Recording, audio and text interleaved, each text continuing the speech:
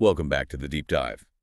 We've looked through this massive stack of research you sent over on global fossil fuel use, and, well, the findings are pretty shocking, honestly. There really are. You know, despite all the talk, all the climate conferences and pledges, the data seems to show we're not just failing to cut back on fossil fuels. We're actually going backwards. In some key areas, yes.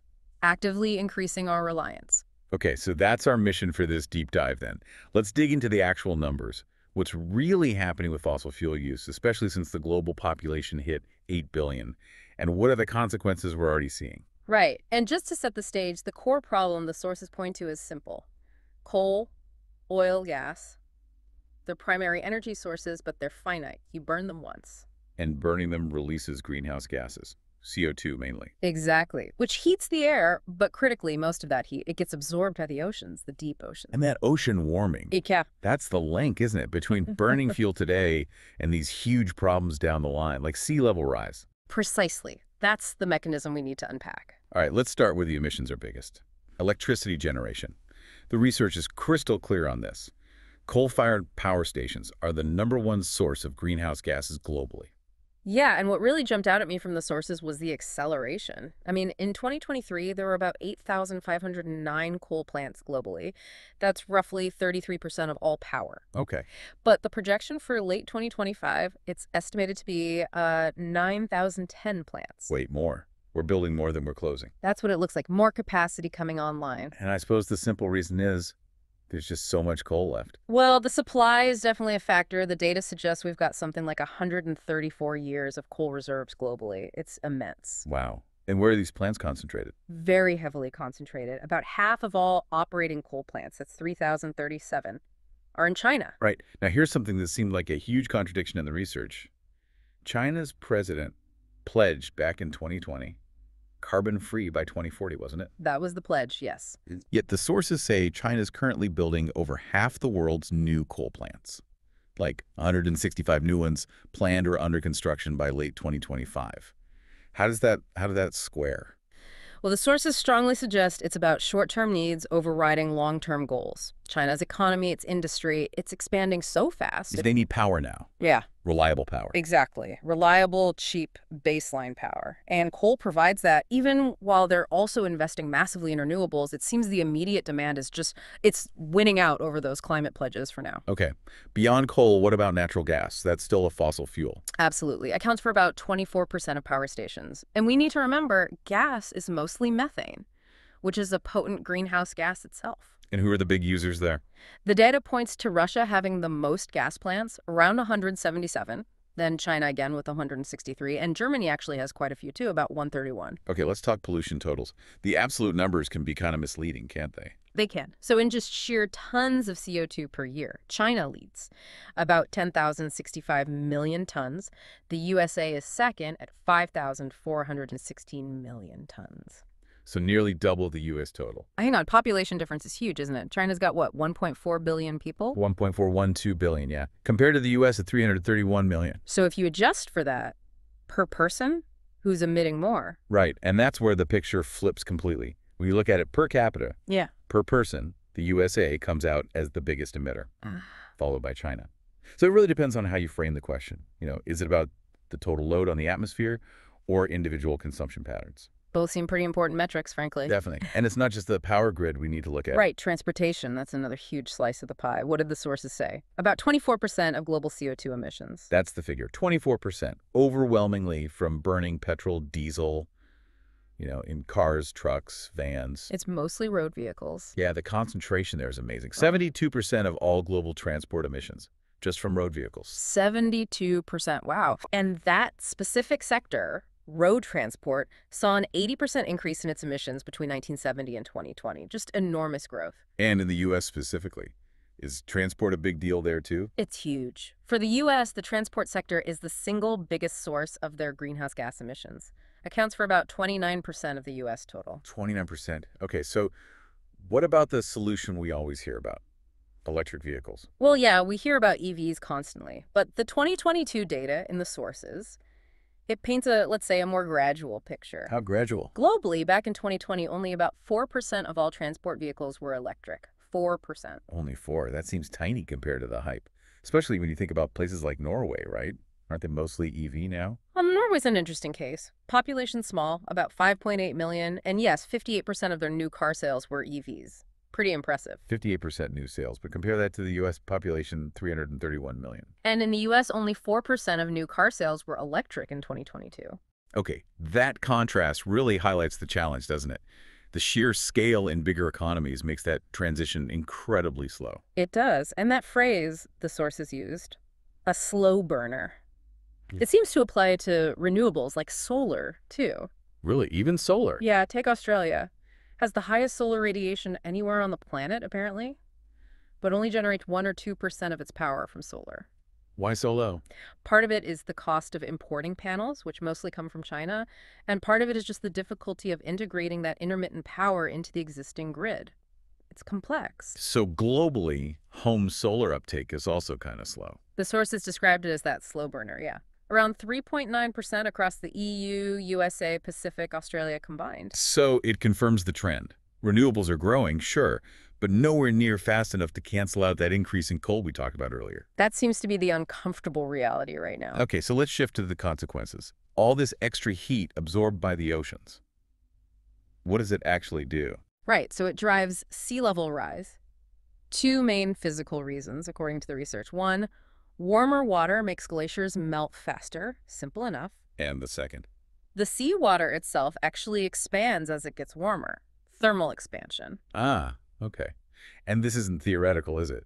The sources mentioned that Waterworld scenario. Yeah, that Kevin Costner movie opening. Right. But it said that for some Pacific Island nations, rising seas, bigger king tides, that's already their reality. It's happening now. Exactly. It's not some distant future for everyone. Yeah. And the Pacific is seeing it first, partly because the ocean temperatures there are already higher to begin with. It speeds up both effects. And looking north, Greenland, the numbers there were just unbelievable. Staggering, aren't they? NASA satellites show Greenland has lost 6 trillion tons of ice mass just since the year 2000. Six trillion tons. It's hard to even get your head around that amount. It really is. But maybe even more important is the committed damage. The research confirms that based on warming that's already happened, Greenland alone is going to contribute about 10 inches to sea level rise. No matter what we do now, that's locked in. 10 inches just from Greenland. Guaranteed. Wow. And if all of Greenland's ice eventually melted, Sea levels would rise by 7.4 meters, over 24 feet. okay, and this ties into what the source is called Arctic amplification. The Arctic warming faster than elsewhere. Precisely. We've seen about a 50% reduction in the area of Arctic sea ice since monitoring started. Mhm. And the ice that's left, it's about 45% thinner than it was 30 years ago. Good grief. And the prediction is ice-free Arctic summer soon, By 2035, as the prediction mentioned, ice-free during the summer melt season. which sounds bad enough. But this is where it gets really, really worrying. This faster warming speeds up the thawing of permafrost across the Arctic, Yeah. you know, permanently frozen ground. Right, and what happens when that thaws? It releases methane gas. Methane trapped underground from ancient plants that decomposed ages ago. This is the methane ticking bomb the sources refer to. And methane. Yep. That's much worse than CO2, isn't it? Oh, dramatically worse. The sources state it's 63 times more potent as a greenhouse gas than CO2 over the shorter term. 63 times. Whoa. So you get this dangerous positive feedback loop. More warming thaws, more permafrost, which releases more methane, Which causes more warming. which melts more ice and thaws more permafrost, releasing even more methane. It's a cycle that accelerates itself, and we've already pushed the start button with past emissions. And it's not just the Arctic. The sources also highlight the Himalayan glaciers, the so-called third pole. Right, what's happening there? Those glaciers are thinning rapidly, too, which threatens the water supply for nearly a billion people downstream in Asia. A billion people. And it also impacts hundreds of hydroelectric power plants, about 251 mentioned, in places like Nepal and Pakistan that rely on that steady meltwater flow. Okay, so critical impacts in Asia too. Now let's go south, Antarctica. The scale down there is just immense. It is holds about 60% of all the fresh water on the entire planet, locked up in ice. And are we seeing major changes there too? Yeah, definitely. The sources focus on specific areas, like the Pine Island Glacier. It's huge, about four times the size of England. Four times England. Okay. And that one glacier, it's already accounted for about 4% of all the sea level rise we've seen globally in the last 30 years. 4% from one glacier. Yeah.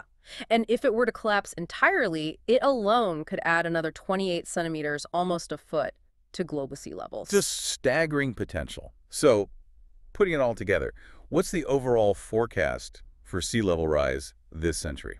Based on current trends, the sources indicate we should expect a minimum, a minimum of one meter, about 3.3 feet, of global sea level rise by the year 2100. A minimum of one meter. Okay. And this leads us to what the sources call the ultimate paradox, the sort of final terrible irony in all this. What's that? The consequences of burning fossil fuels, the melting ice, are now directly enabling more fossil fuel extraction. Wait, how? You mean because the ice is gone, they can get to reserves easier? Exactly that. As the Arctic ice melts, huge oil and gas reserves under the seabed, estimated at maybe 25% of the world's undiscovered reserves, become physically accessible Oh, and financially viable to drill for, Yep. which they weren't before because of the thick ice cover. And countries are actually planning to do this. Oh, yes. The sources mention both Russia and the USA have massive projects planned or underway to access these newly reachable Arctic fossil fuels. So we burn fuel, which melts ice, which opens up more fuel to burn, which will melt more ice. It's a vicious cycle. It's the ultimate exploitation loop, as the source material puts it. The problem is literally feeding its own acceleration.